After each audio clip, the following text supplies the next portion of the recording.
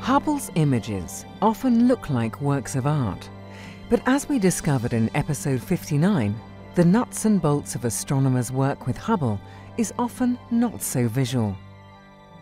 Spectra, the graphs of the distribution of colours within an observation, are a powerful tool for studying the universe. But because they don't look visually arresting, it's usually just the scientists who see them.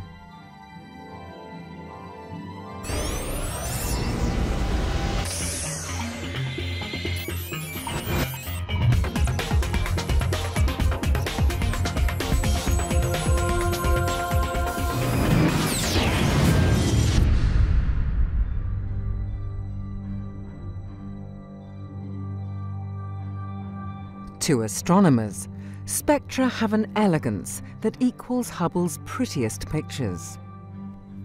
They might not be as attractive as pictures of galaxies or nebulae, but for astronomer Bob Fosbury and conceptual artist Tim Otto Roth, they can still be works of art.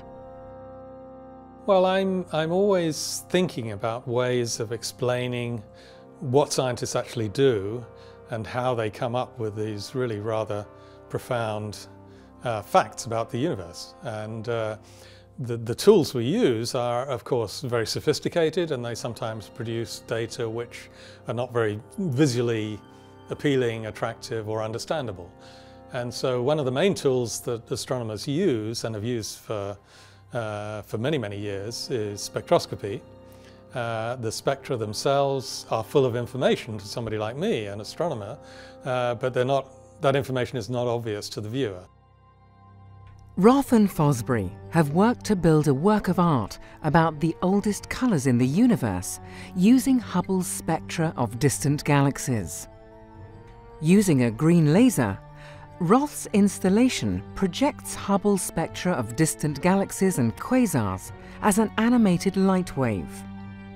It's been exhibited in a number of cities in Europe and the USA, including its premiere here in Venice in 2010, and more recently on the dome of the Hayden Planetarium here in New York.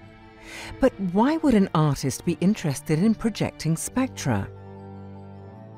I think people are attracted in a way by, by, by the projection. They see, well, they have anthropomorphic associations. Well, they probably see a brainwave or heartbeat. And so people stop and get interested um, in that. So, and that's important. And they, they're puzzled and they start to reflect what, what's going on there.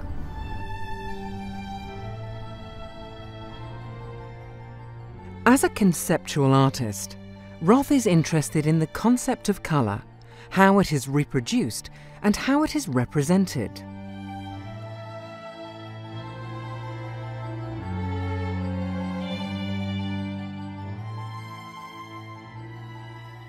In the past, he has worked with CCDs, the type of chip that detects light in Hubble, and has used individual coloured pixels taken from astronomical observations.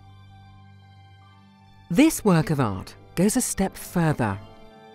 The projection is in just a single shade of green, but the peaks and troughs in the lines represent thousands of colours observed in thousands of the most distant objects ever observed by science.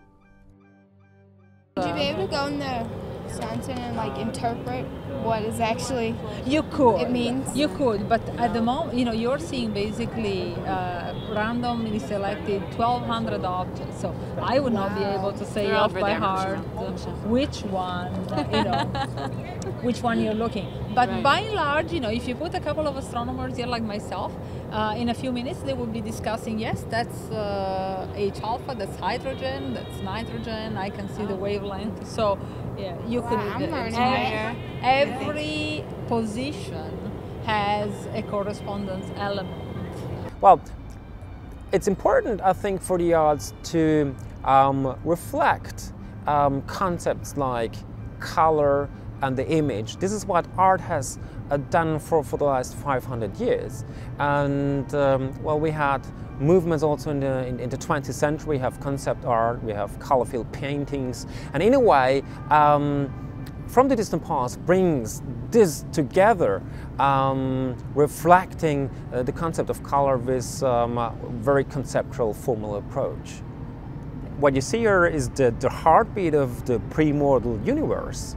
And well, this is very early color information. It's the oldest color information we have in the light. It's the oldest light information we have traveling billions of years across in the universe, and it tells us of the origins um, of the universe.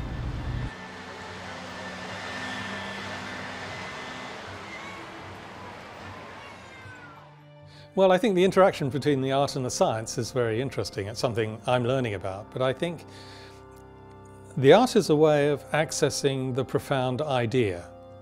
I mean, the science is a way of exploring the profound idea, you know, making the observations, making the deductions, and painting the picture of the way the universe works.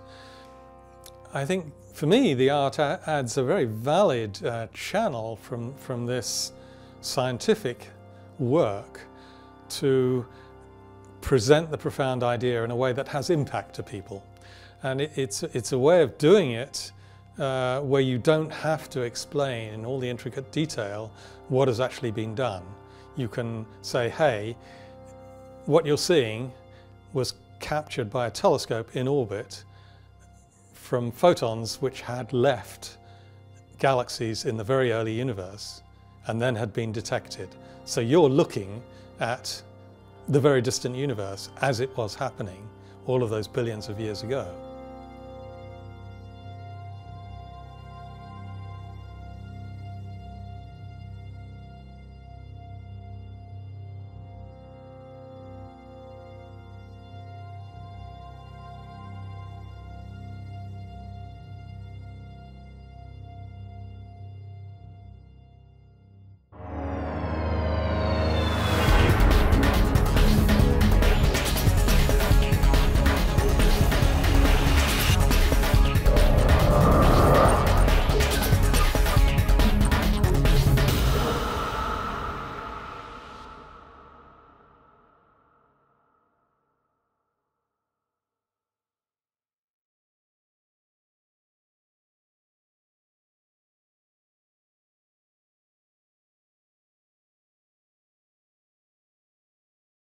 Now that you've caught up with Hubble, make sure to get the latest from the ground too.